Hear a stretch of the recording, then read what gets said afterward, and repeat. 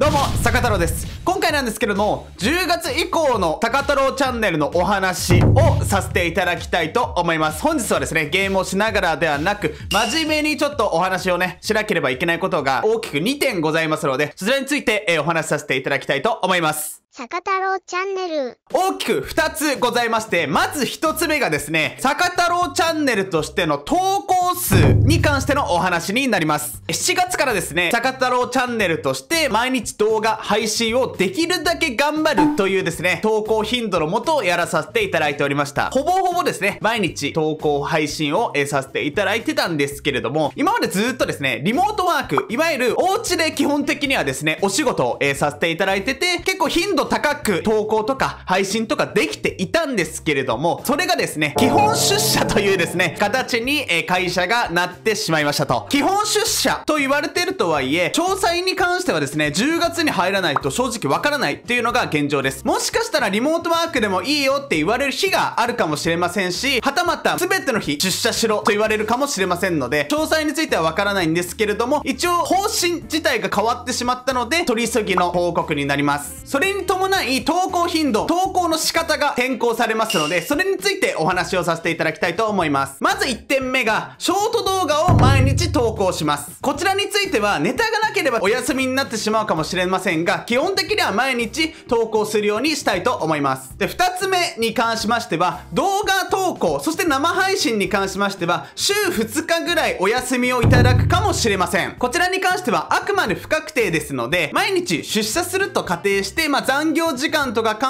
えたりしたら、2日はいただくかな、みたいな感じの計算になります。3つ目に関しましては、動画投稿の時間になります。こちらに関しましては、坂太郎チャンネル7月から発足させていただいて、まあ、17時だったり、まあ、18時だったり、はたまた朝の7時だったりとか、いろんな時間をですね、投稿させていただいたりしていたんですけれども、基本動画に関しましては、18時半にさせていただきます。いろいろな時間を試させていただいたんですけれども、18時半が自分の視聴者さんが一番見てくれる時間だと思ったので、18時半に、えーさせていただくことにします。なので、18時半は坂太郎と覚えていただいて、動画だったりショート動画をですね、ぜひチェックしていただけると幸いです。何卒よろしくお願いいたします。生配信においてはですね、その日がリモートワークであれば20時から開始することができるんですけれども、会社に行ってからこう帰宅して、そこから生配信をやるとすると、21時前後になってしまうのではないかなと思いまして、20時、もしくは21時とさせていただければと思います。時間がまちまちになってしまうかもしれないので、できたら Twitter の方をフォローしていただいて、チェックを、えしといていただければと思います。坂太郎チャンネル。ここまでは10月以降のこのチャンネルの投稿頻度についてお話をさせていただきましたが、続きまして、今このチャンネルのチャンネル登録者減少についてをお話しさせていただきたいと思います。チャンネル登録が解除されていることについては、いろいろと理由があると思っておりまして、まあ噂によれば見れていなかったので自動的に解除されましただったりですとか、つまんないから解除したですとか、それこそ一旦登録しているチャンネルを整理したいから、だから解除したといったような様々な理由があると思います。自分の考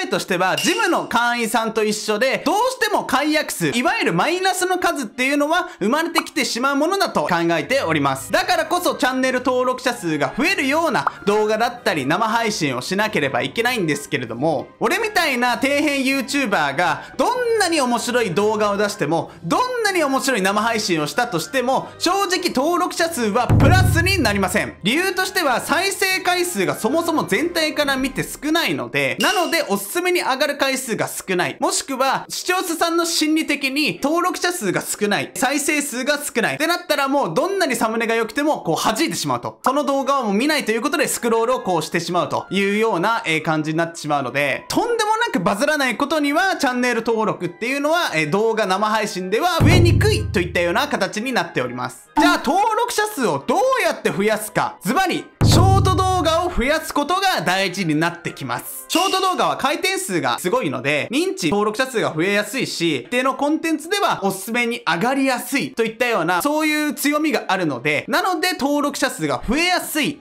といったような、そういうデータが出ております。これっていうのは結構前にも自分のチャンネルで言っていて、なんでこれ分かってるのに7月からこのショート動画を積極的に上げてこなかったのか。これについてちょっとお話をさせていただくと、坂太郎チャンネルとしてチャンネルの方針がブレブレだったので、ショート動画を上げてきませんでした。変に方針がブレブレのまま、ショート動画で、とある動画がバズって、自分に合わない方向性だった場合、結局、一定数登録者数が増えたけど、再度登録解除のオンパレードが、こう始まってしまうのではないか、といったような可能性があるため、私はやめておりました。坂太郎として3ヶ月え活動をさせていただいておりますが、正直未だにその方向性っていうのは完全にに定まってはいないような状態になっております。とはいえ、大体の方向性は決まってきた感じになります。チャンネル解説値から考えていましたが、一つのゲームに特化して伸びる。というのは私の性格上無理です。撮影の慣れに甘え、向上心がなくなってしまうのではないかと思って、まあそういうやり方は私的にはなしになっております。なので軸のゲームはありつつ、いろいろなゲームで伸びる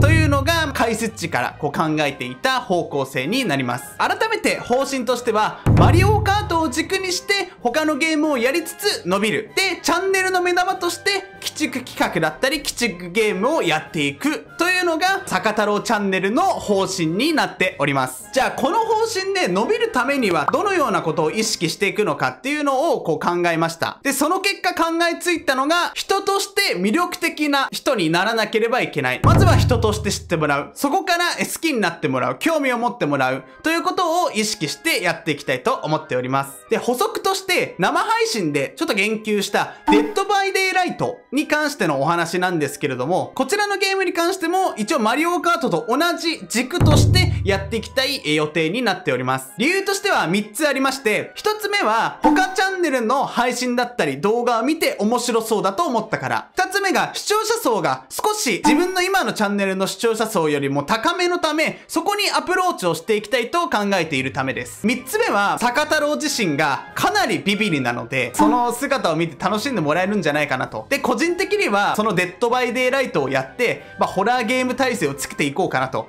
思っております。そのような感じでですね、やっていきたいと思っておりますので、まあ、今後ともよろしくお願いいたします。坂太郎チャンネル。以上、10月からの坂太郎チャンネルの動き方でございました。坂太郎チャンネルとして10月からは、坂太郎をまずは人として好きになってもらう。コンテンツレベルを上げる。ということを意識してやっていきたいと思っております。チャンネル登録者数に関しては、1万人を目標にしてやっておりますが、まあ、前言した2つのことをちゃんとやれば、自然に登録者数は増えてくるものだと思っております。去年と今年前半はですね、自分の数字と周りの数字にとらわれすぎてしまい、このチャンネルの本質を見失っておりました。なので、ここからはしっかりと自分は何をすべきで、そして視聴者さんが何を求めているのかというところをしっかりと追って、えーここからもさらに頑張っていきたいと思います。これを見ていただいている視聴者さん、本当に、えー今後ともよろしくお願いいたします。ということで、えー本日はこれにて以上、また明日からの動画でお会いしましょう。バイバイ。シャありがとうございました。チャンネル登録よろしくお願いします。チャンネル登録。チャンネル登録。チャンネル登録。チャンネル登録。